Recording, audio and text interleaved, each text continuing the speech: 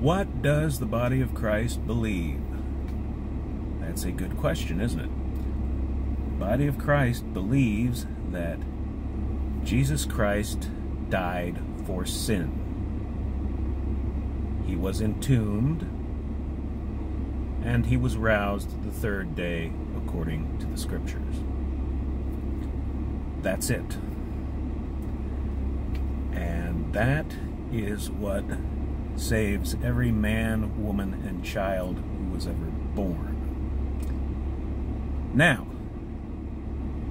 I am going to do a follow-up to this video and explain to you that I have never met a Christian who believed any of that.